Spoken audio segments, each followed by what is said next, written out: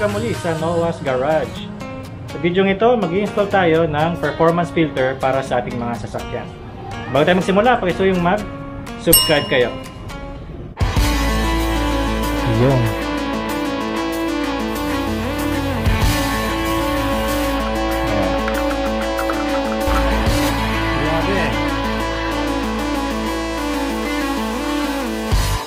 Muna di tayo magaling. Ito mga tools na kailangan natin. Pag-uusapan natin ngayon, siyempre, Okay. turo sa mga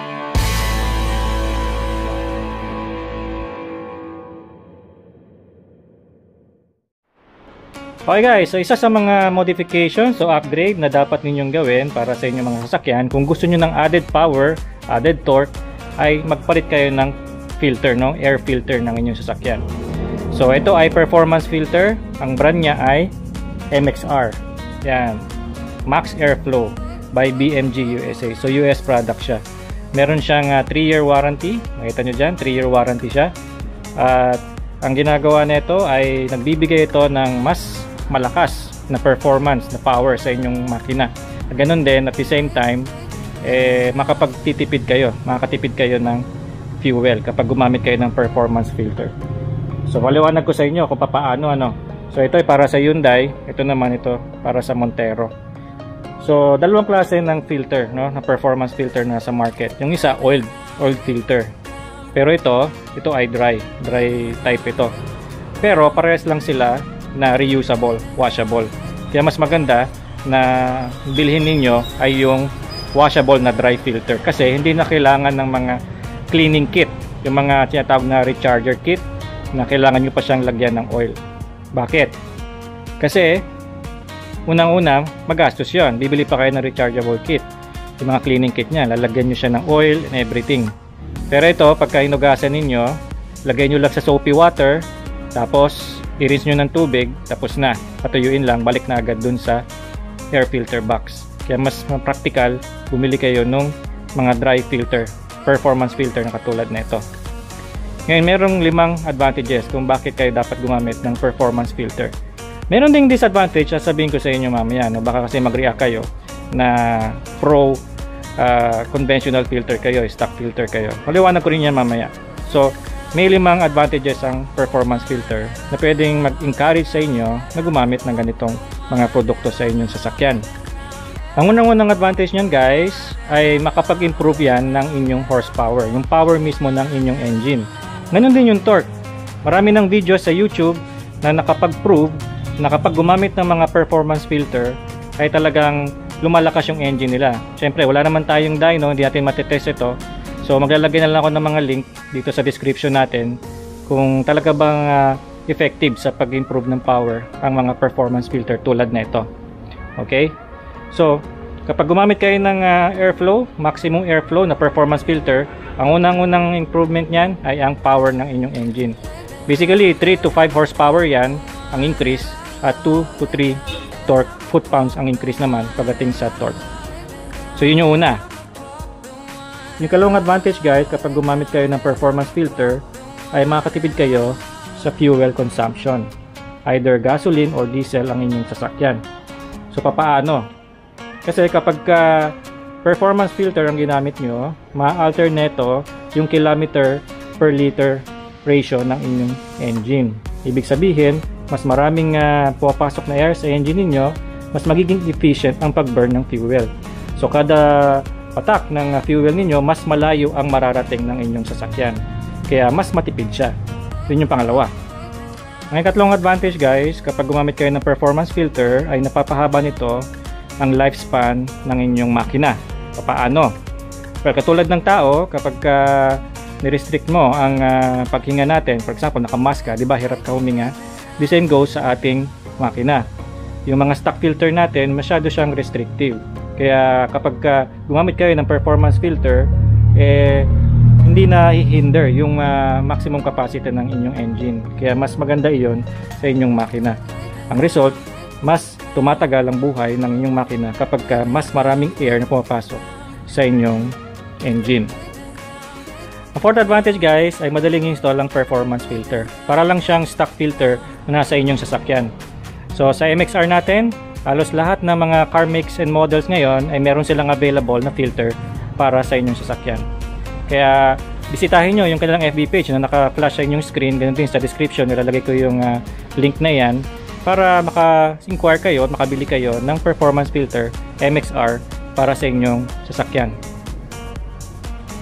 Yung last advantage guys ay makakatipid kayo kapag gumamit kayo ng mga performance filters tulad ng MXR.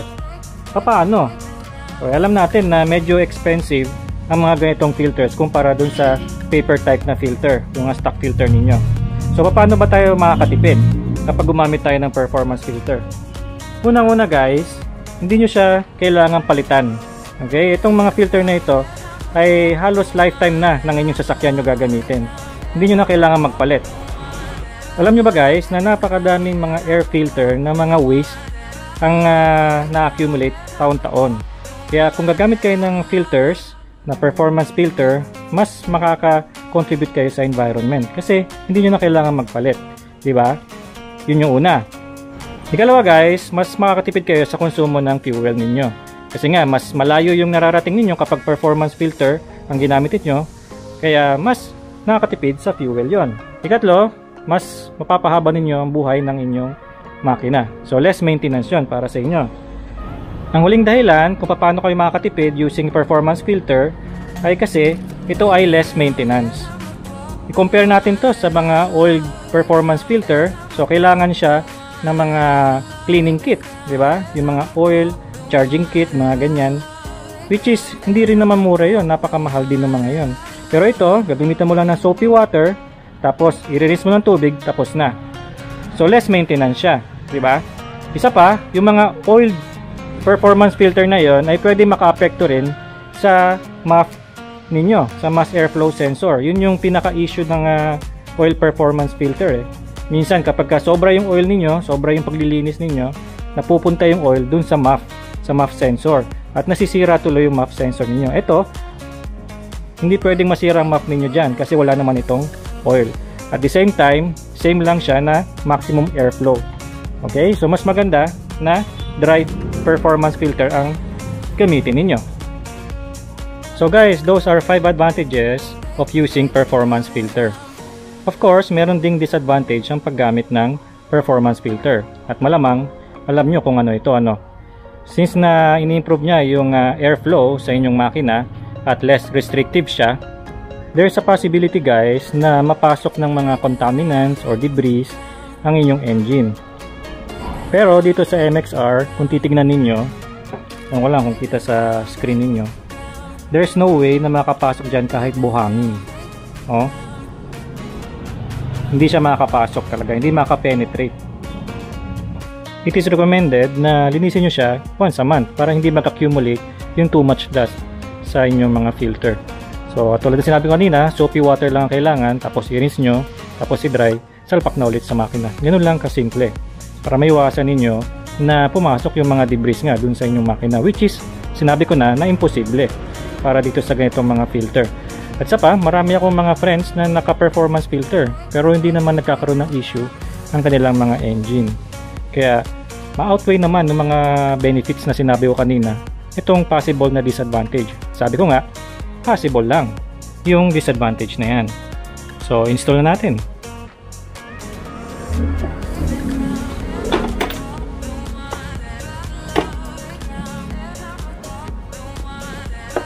Linis pa, di ba?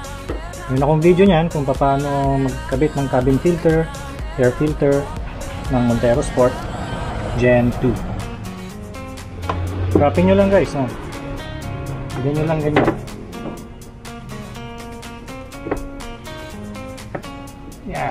MXR.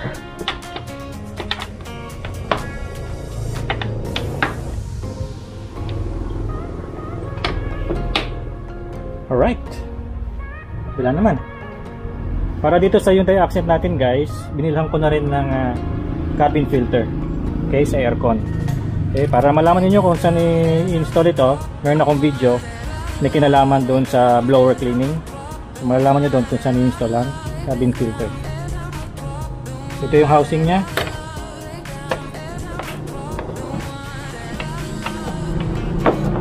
Ayan. Oh, grabe ang dumi. napabayaan na. So, this goes one way. Kasi may size siya. May shape siya.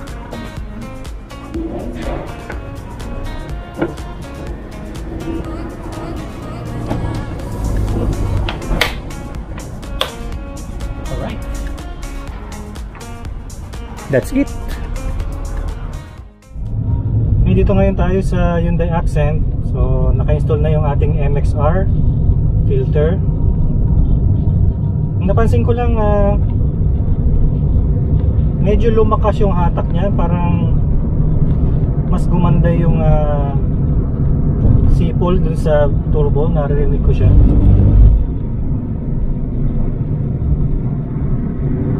Ayan oh.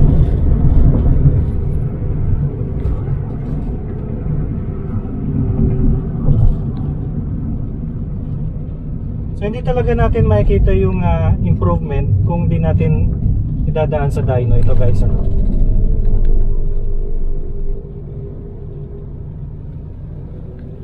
Pero at least alam natin na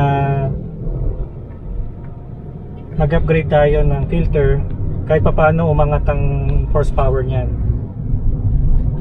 3 to 5 horsepower ang in-increase niyan So sana nagustuhan ninyo ang uh, video na ito. Kung uh, gusto nyo ng isang performance filter, I suggest MXR ang bilhin ninyo. Ito ay uh, washable, lifetime na ninyong gagamitin ito ng inyong sasakyan. If you do the math, mas makakatipid kayo kapag gumamit kayo ng performance filter kaysa sa mga stock filter. Washable kasi siya. Okay? Maraming salamat sa panonood at sa uulitin!